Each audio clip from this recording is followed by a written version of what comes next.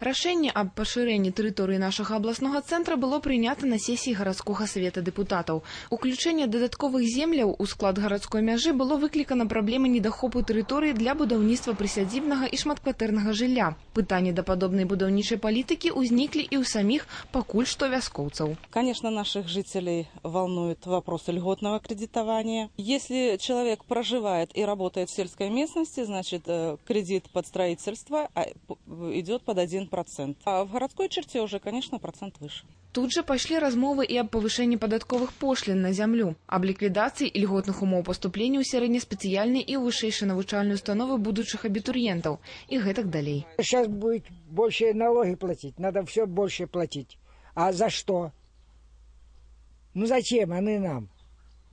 Нам сейчас и так прекрасно. Аднак ёсць і станоўчыя моманты ў перанясенні гарадской мяжы на некалькі кіламетраў далей. Шмат хто з вяскоўцаў спадзяецца на паляпшэнне агульных умоў жыцця. Надеемся, будет газифицировано у нас. Вот, дорогу с- отремонтируют, будет хорошая. Ну и на работу будет легче. Может, пустят какой-то автобус, чтобы именно э, уездить на, в город. Потому что только дизель и маршрутка у нас.